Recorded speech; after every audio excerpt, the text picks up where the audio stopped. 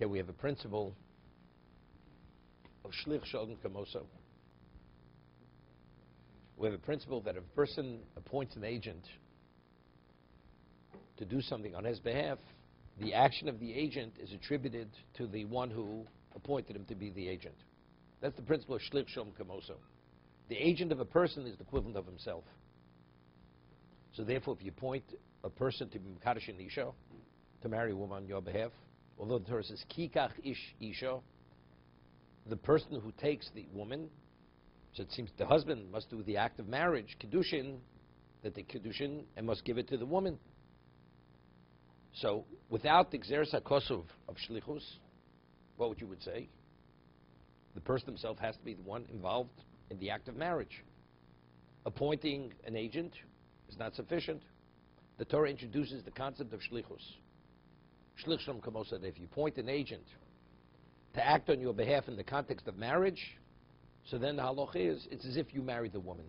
What about if the woman herself, it's as kiach ish isha, the woman must receive the money, must receive the object of value. Let's say she appoints an agent to represent her, right? And the Torah doesn't introduce the concept of shlichus, so it's not a marriage, because the Torah says the husband must give the, the object of value to the woman. It must be in her possession, in her hand. So if you did not, it's not valid. Torah introduces no, that if she appoints a shliach, an agent to represent her, the shliach is kamoso. The agent is equivalent of her. So the agent is equivalent of him, and the agent is equivalent of her. The marriage is a valid marriage. Okay? The shlich is her. She is the, the shlich is her. The shlich shel, shlich shel adam kamoso. The shlich is the equivalent of himself, or kamoso is the equivalent of herself. So this is true by get. We'll see in a moment. No, no. Yes, a woman, a man, it could be whatever it is. Shlich. It has to be a Jew. Shlich has to be a Jew. A non-Jew ain't shlich slakum. A non-Jew cannot appoint an agent meaning a non-Jew who appoints an agent in his position, in his place, the agent is not himself. If a Jew appoints an agent, it's not valid. Even if it's a shiloh, it's a shiloh, it's a question. There's a discussion in Bechoros that if a non-Jew appoints a non-Jew on his behalf, is the non-Jew considered his agent? But a Jew appointing a non-Jew, definitely. Ain't shlichus lakum. There's a famous Rashi we discussed in Shabbos, where we have a principle of um, Amir Lakum Shvus, that if you instruct the non-Jew to act on your behalf on Shabbos, although, and he violates Shabbos, rabbinically you're not permitted. Amira la'akum, saying to the non-Jew to violate ishvus, rabbinically it's a rabbinic prohibition. So Rashi says, why? What's the reason? Because factually, we have a principle of shlichus. We have a principle of shlichus. So normally when you appoint an agent, the agent's yourself. So you know what's going to happen? So if the non-Jew, the goy is acting on your behalf, and he's your agent, although it doesn't have the laws of agency. So you say, well, he does it like I'm doing it. So ultimately, you know what's going to happen eventually. So if you don't have the agent to act on your behalf, you'll do it yourself. Because the person in his mind will rationalize, say, well, he is me. So if he is me and I'm permitted to do this through the goy, so it's so how far what what's the difference if I do it myself? Therefore, rabbinically, they say, Amir Lakum Shvus. Rabbinically, you're not, you're not, for that reason, you're not permitted to instruct a non-Jew to act on your behalf. Because ain't shlichus la'akum. First, shlichus. Secondly, ain't shlichus varavera. I mean, we'll, we'll discuss this later. There are many reasons. First, a non-Jew cannot be your agent. So this, he's not you. But it's irrelevant what he is, but there's a fence. It's a rabbinic fence. But how is it perceived by the one who has the non-Jew acting on his behalf? That's the way it's perceived in his own mind. Okay? So this is the principle of shlichus. So the Gemara asks, shlichus minolon. So the principle is a Torah principle. Where is it sourced? The Tanya. It says regarding a get, a man divorces his wife. Vishilach. You know, when the Torah says, Torah could have said vigiresh, right? Giresh means he divorces. It says he sends her away. What does Torah use the term vishilach? rather than the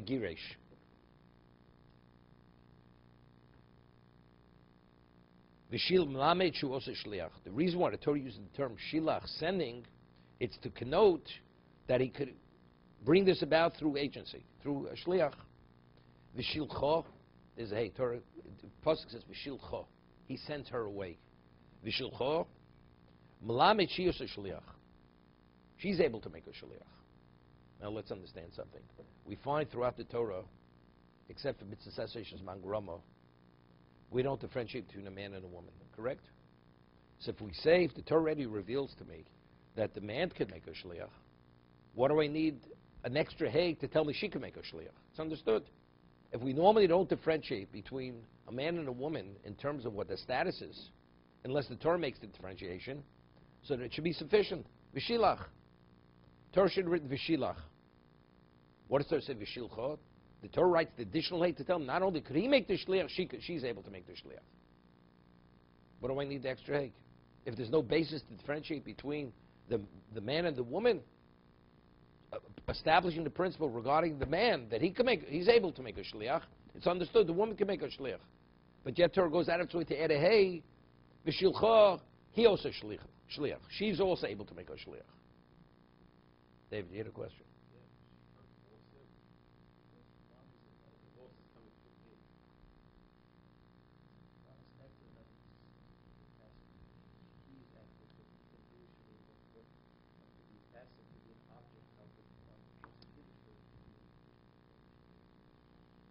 We'll see. It's not so simple. That's something else. That's not based on this.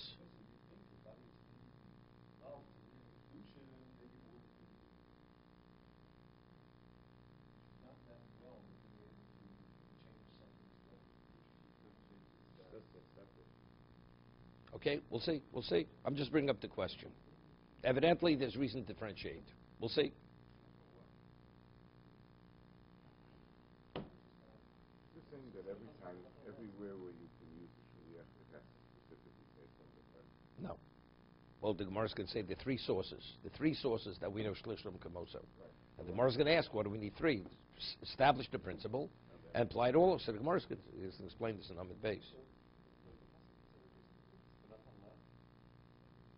sevik risos, but it says v'shil- v'shilcho.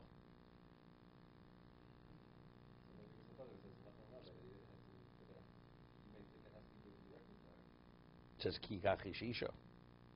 Says. We'll see in a moment.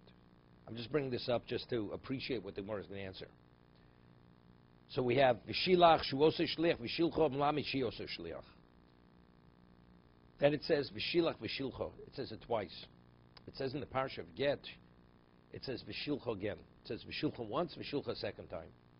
Because v'yotz lishacher, right? She goes to another man, and also the second marriage doesn't work out. It's either he divorces her, or he dies. Right? It says, why did the first one divorce her? He saw certain inappropriateness in her behavior. So if that's the case, how does the second man marry her? So, right? Hu motzi rishol b'tor beso, v'umachlis rishol tor. He just got rid of her because she's a bad woman. What are you marrying a bad woman? So it says, so what happens? What's the Torah telling you? Either you're going to divorce her, or he's, she's going to bury you, one or the other. Right? One, one or the other. That's what the Torah is saying. That's the second shilcha. The second shilcha is written by the second husband. That a shliach, he's able to make a shliach, which is not so simple, right? Of course, the only reason why a person is able to make a shliach, of course, the shliach is representing him. But if the shliach was only representing someone else, how do we know he can make another shliach to take it another step? We learned that from the second shilcha. So the says, Ashkan begerishin, Why is it second step? He himself because you, it's not you're not the one who's actually generating it. Where does it come from? Your power, your ability. What? Where is it rooted? Is it rooted in yourself? Or it's rooted in someone else? but now you're married to the woman. You No, no, no, no, no, no, no. Person makes a shliach to do something. Not a shliach wants to appoint somebody to take his place. Definitely. You don't. Well, if, if it's generally understood, you do. Then you don't, because. If man says, "I only want you and no one else," you're only re- you're representing me in this context. I don't want anybody else to represent me. No, which means even if I authorize you to make another shliach, But maybe I'd say you can't make another shliach. In what context? Not when the original person is opposed to it.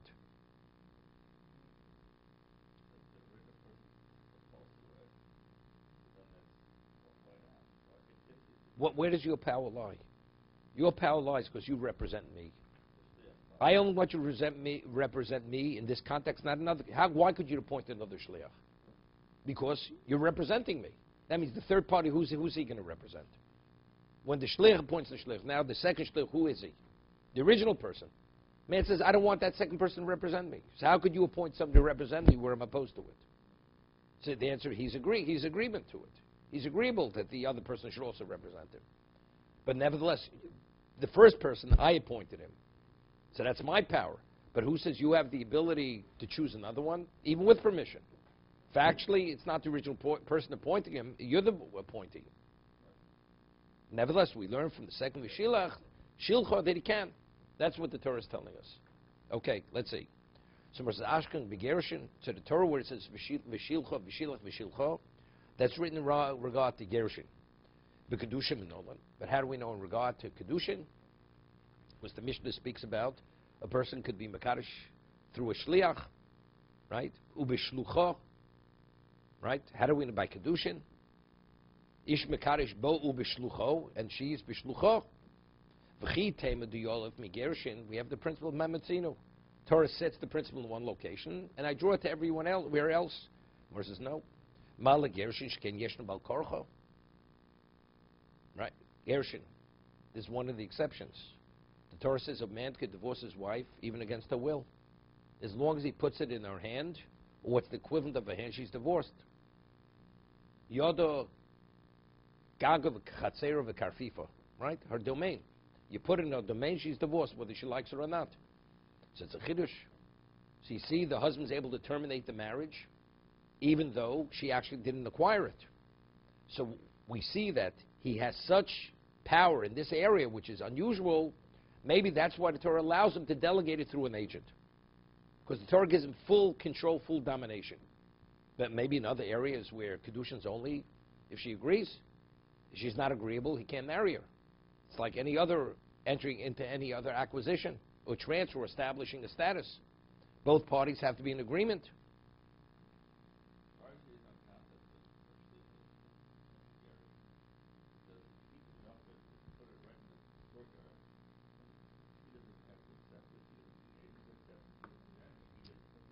What's the courtyard? What's the court? That is her. That is her. That is her hand. That is the equivalent of her hand. No, because that's a issue. That's chotzer. No, but the Torah.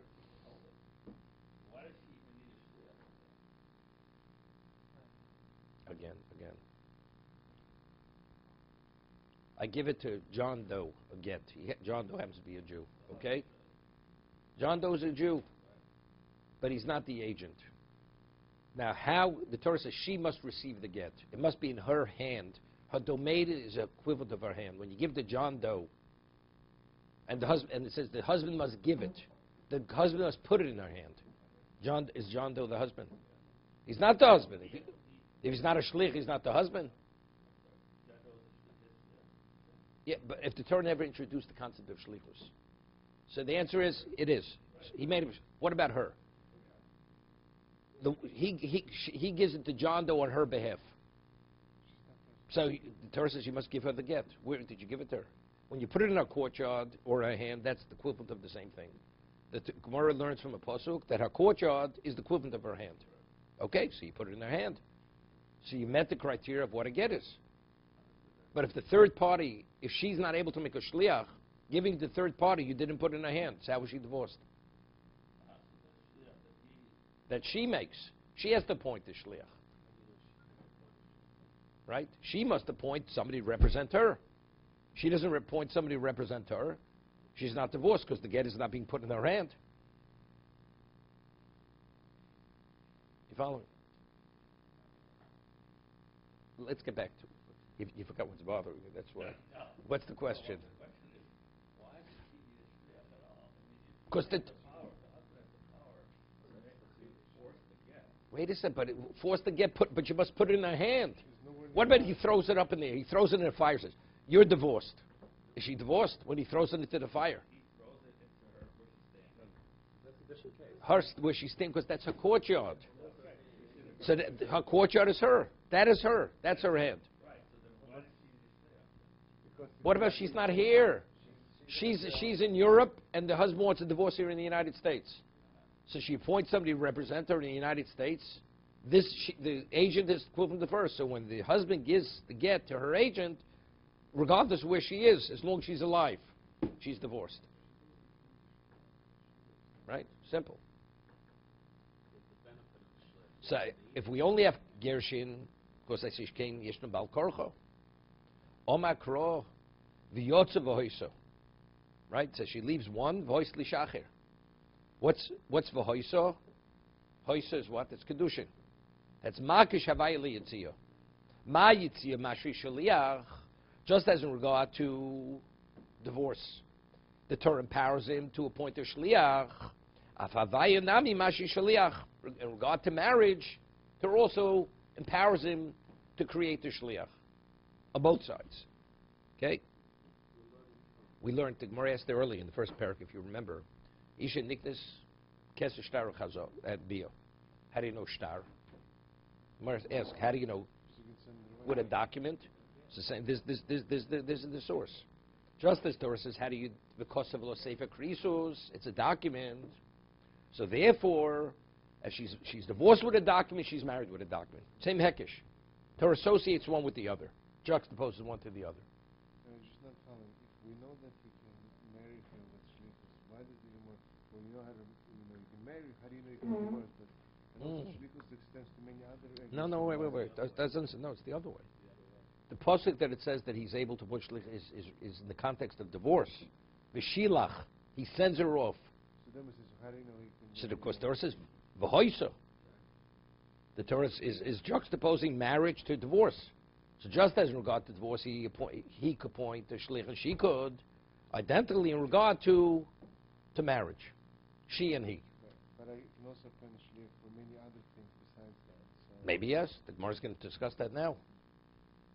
So maybe the the the example of get in kedushin that is the source for every other shlichus.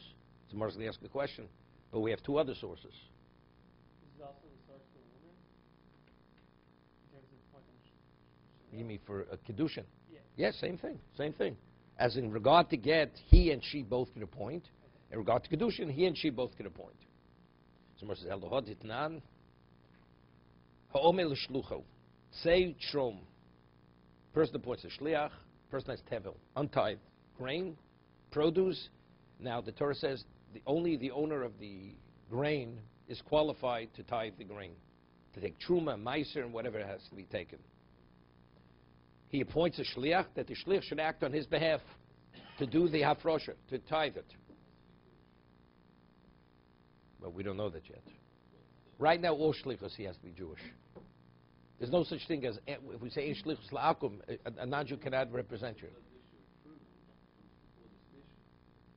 Okay, David, I'm, I'm impressed. Oh, okay. Homer l'shlucho, trom. Person says to his agent, go and tithe on my behalf. Torim kedas balabayis. Now, the law is on the Torah level, we say chita achas pateres akri. You could have tons and tons of wheat, of grain. You take one kernel and say, this kernel should be truma for, for the tons of grain. It's a valid hafrosha, it's a valid tithing. All the grain now is considered tithe from truma. Meiser, you have to take 10%. But Truma, on a Torah level, there's no, there's no, even the most minuscule amount is considered valid. That's valid tithing. Rabbinically, Chazal say, it's not smachta, a generous tithing is 140th of the quantity. 150th is, is considered Benoni, that's Benonis. And Ein Ra, a person who's stingy, is 160th. Okay? You learned the Mishnah, right? Okay, good. Howard also learned it. Give him credit. Okay? So 160th is Ein Ro. So let's say the person appoints the shliach, and the shliach knows exactly the mindset of this person who's appointing him, whether he's generous, whether he's the average, or he's, he's actually stingy.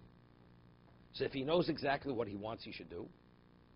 So he, he, he tithes the percentage of what he understands the balabais would want. The one who appointed him. He's not sure exactly what the balabais wants. He, he knows that he wants it to be tithed. Torah bebenis. What he should, when he tithes it, he should take the average as the average person would be, which is one fiftieth. Echad michamishim, which is one fiftieth. What about piches, asoro, hosif asoro? Let's say he took ten less or ten more, right? He did more or less. Truma or truma. It's valid. Although, we'll see Tosis in a moment, although afterwards Balbai says, look, I'm a stingy guy. I'm a miser. Doesn't make a difference what he says. It's still valid. It says truma or truma. Imeni yodea. Chite- So now the question is, but we have a, a Mishnah that it says that although the Torah says the person himself should do the tithing, but if he appoints a shliach, the shliach is qualified to tithe as he's qualified to tithe. Moses Nolan, how do we know this? Maybe we'll learn it, we'll draw this from, from divorce, divorce and marriage. Maybe not.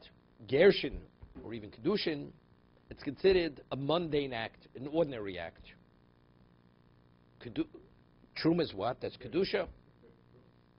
We'll discuss it, right? But tru- Truma, what are you creating? You're creating an object of Kedusha?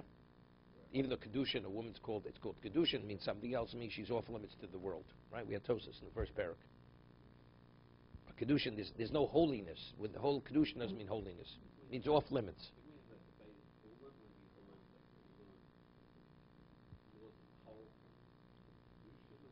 We'll see. Let's- stay on the page before we get to Chulin.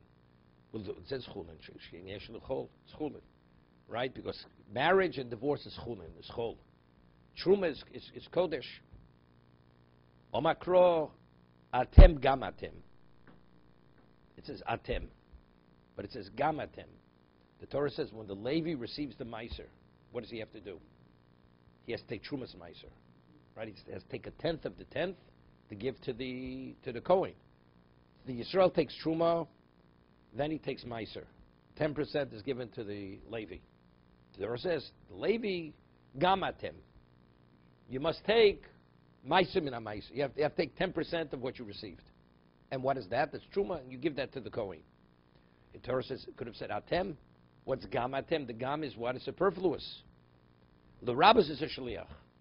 It's, it means also you. The also means not only you, but somebody representing you. Now, how does he represent you? He represents you because you appointed to be your shliach, to be your agent. Rabbis is a shliach. It's interesting. When you learn Chumash, you would say that, I, you'd say the gamatem would mean that not only does the Israel have to take, give truma, have to tithe his, his, his wheat, his grain, the Levi, when he receives the 10%, but you say it's already been tithed. So you'd say, Gamatem. Not only the Israel, also you, you must take Truma. Right? But that's, not what the, Gemara- that's not what the Torah is saying. Torah says, Gamatem does mean, and also you. Although it was tithed, you also must take Truma. Right? If that would be the, the interpretation, Gam, so we have no basis to learn that, the, that you, that you, you, because the Torah to say that, Atem would be sufficient. What if also you? What, because the surprise is here. Atem, you must take. So what's the gam? So the gam is superfluous. It's speaking about the Levi. It's speaking about the Levi. That posuk of gam atem is speaking about the Levi. I know because it is truma. He's taking truma from, from the meiser. It's called trumas meiser. No. If the Torah wants to tell me that Levi must take truma, Torah could have said atem. You should take maser min maser. Take 10% from 10 from your 10% you receive, give it to the Kohen. It's speaking about Levi. It's speaking. So the word gam is totally superfluous. So what is what's and also what's the also? Not only could you do it, if you appoint somebody in your place, he's also he's qualified to do it. Okay? Otherwise, how do we know? Where would you know that from? From Kedushin and, and Kedushin and Gershon, that's Chol. You can't learn from Chol to Kodesh. Right? So therefore, it has to say it regarding something which is Kedusha. So now the Gemara is going to ask, so if by Kodesh, if by Kodesh we're saying you're able to make a Shliach, so definitely by Chol, so let Torah only write it in regard to Shlichus, in regard to, to Hafroshes Truma. Torah doesn't have to tell me in regard to Chol, which is, which is Kedushin and Gershon. V'nesi Mahanoch, V'nesi Hanoch, V'nigru Minei. Let's learn Kedushin and, and Gershon from, from, from the Gamatem, from Truma, Dikul Mifrach. Because you're able to differentiate between the two.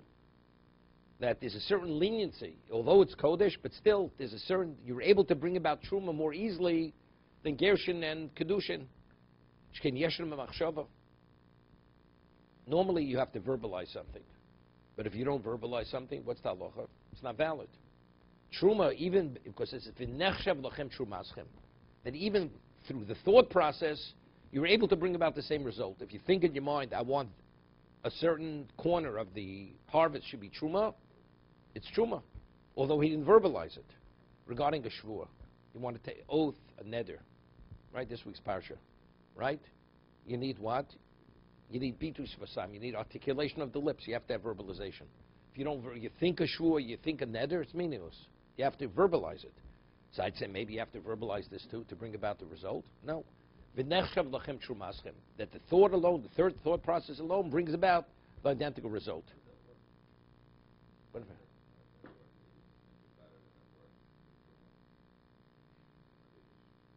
Can I ask you a question? Let's let's let's talk. You verbalize it. I say I want the northern corner of my harvest to be truma. You just said the words. Nobody's there. Is it truma? You verbalize it. It is. So now I think to myself, I want the northern corner of my harvest to be truma. What's the difference? You thought it. What's the difference? You say it or you think it? Because we say normally dvarim shabalevein dvarim, what you think means nothing. Because Torah says explicitly, even what you think is valued as if you said. What? Not simple by tzedakah. Tzedakah is not simple. It's a shaima. It's a Rabbeinu Tam in uh, in Nedorim. Now, there's a famous question which um, which the Shita Mekubetzes asks. The Gemara says Shaila. Yesh yad lehegdish. The Gemara is going to say in a moment. What about if you want to consecrate something without verbalizing it? You have an animal which is qualified to be an ola, right? To be an ola, burnt offering, and you don't say hare ze ola. You don't say this should be an ola. You think it should be an ola. Is it an ola? What would you say? Ernie, you learned this. Yeah, you to review it. Okay, is it or not? It is. Because the Torah says, the Gemara in, in Shuas quotes a pasuk, it says, Kol Nidiv Lev. In regard to the Mishkan, it says, Nidiv Lev. The one with generosity of God is Kol Nidiv Lev Olos. So you're able to bring about Olos with Nidiv Lev, just with the heart, without verbalization. So we have two things which come about without verbalization. Hafrosh is Truma and consecration of a korban, even if you don't verbalize it. So Mar has a question in, in Nedorim. Now, it's this week's parsha. The Gemara says, Kiyidor ish neder. Kiyidor. What's the reiteration neder? If it's yidor, means a vow. A person makes a vow. So if you make a vow, we know what's neder. What's kiyidor neder? So from here we learn yesh yad l'nedorim. Yad. We had this in the first parak. Yesh yad l'kedushin, yesh yad l'nedorim. Right? That if a person says, what's a yad?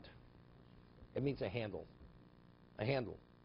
So if a person, so the Ran explains in Kedusha, in, in Nedorim, if you want to take hold of a cup, and you, you take the handle, or a, a gedei or a pot, when you take the handle, you're taking the whole pot, because the handle is attached to the cup or to the pot. So if you say, make a partial expression, the partial expression is the equivalent for the whole expression. That's called yodayim. So normally, although you need art- articulation, you need verbalization for neder, do you have to say totally what you mean?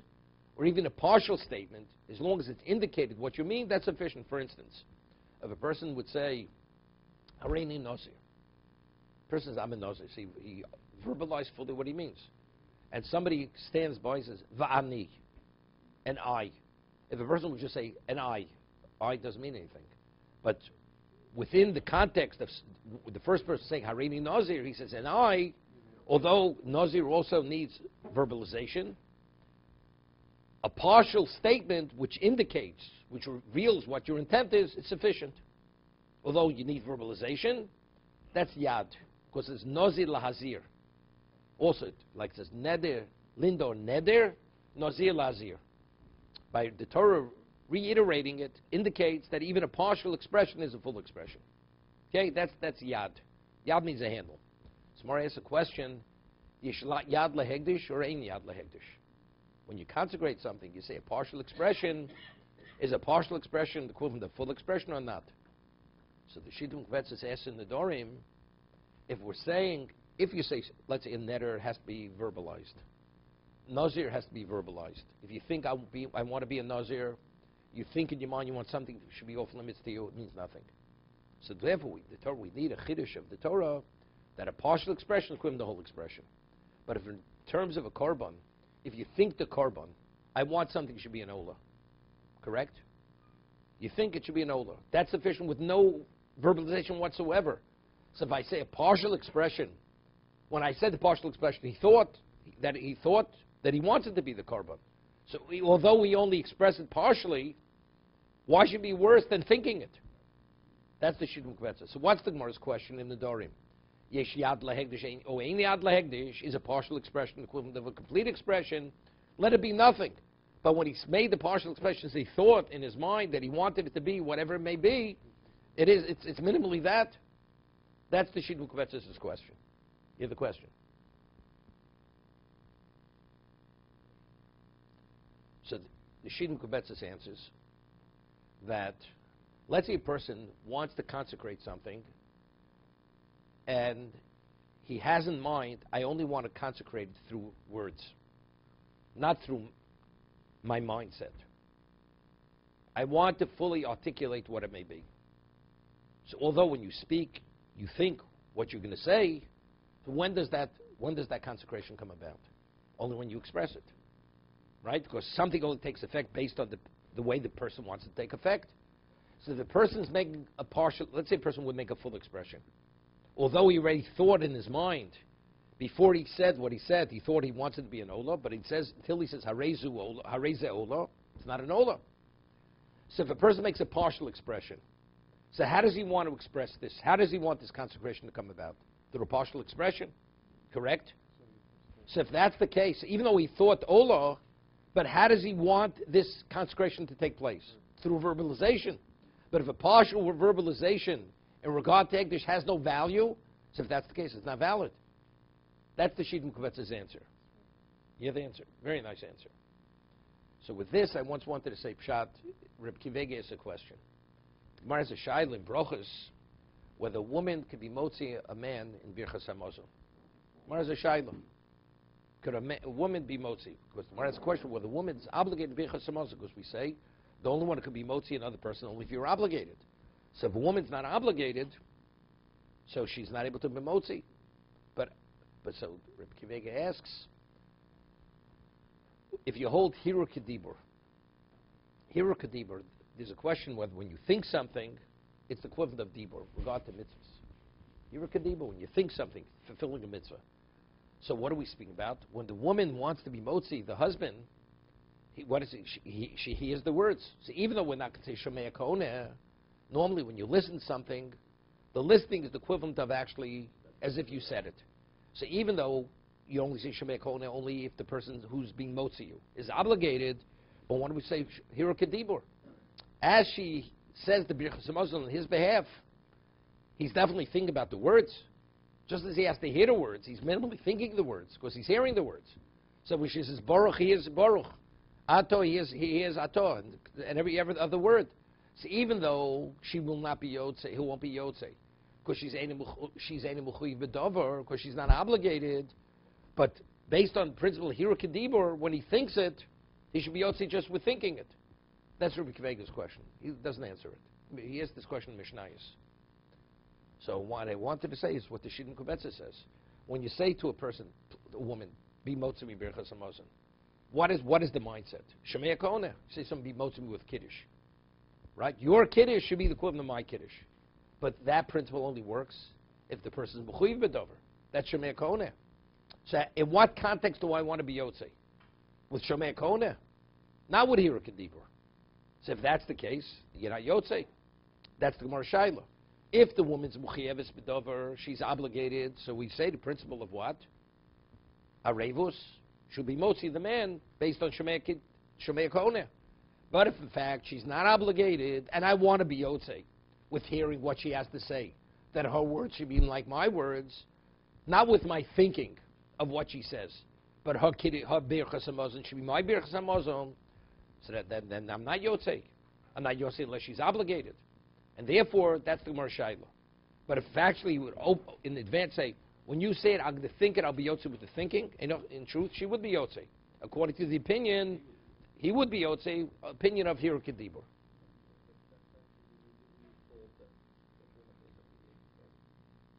No, it's, it's left. It's left unresolved.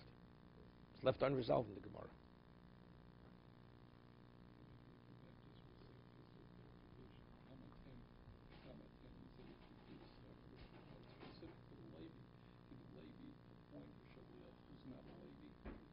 Definitely, definitely. Not that. He's he's tithing the meiser, f- taking truma. Point that as long as he's a Jew. No. He has to be like himself, though. So you would think that the Levi has to appoint a Levi to the conservation. Can I ask you a question? You have Meiser. The person has a grandfather who's a Levi. Levi. And the grandfather's a daughter who married a Yisrael, now has a grandson. Now the now the what the, the Levi dies, so who inherits? Now the grandson has the Meiser. The Meiser was never tithed. Does the grandson, the Israel, could he tithe it? Of course he tithes it. What about if I purchase untithed Meiser from a Levi? You purchase untithed mice from a Levi. What do you do with it? Are you, are you permitted? Mice is normally chulin, but if it wasn't tithed yet, it's tevel.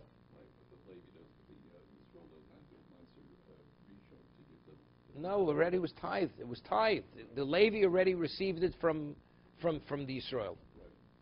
Right now, the Levi has not. The Levi goes and sells it to a Yisrael before he tithes it. Now, the Yisrael before he uses that mice, what does he have to do? He has to tithe it. Who's obligated?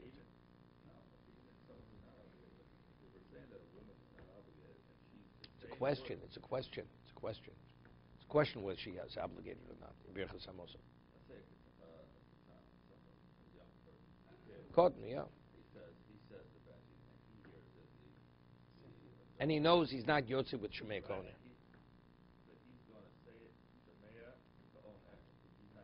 No, no, definitely not. Not Yotze. But if you want to be Yotze with, with the Cotton's words, with his Kiddush, then you're not Yotze. There's no question you're not Yotze. If you say, I don't want to be his words, when he says, oh, I'm going to think the words myself, so according to one opinion, you're Yotze. You are Yotze. Yeah, yeah. Okay? Okay, stop here.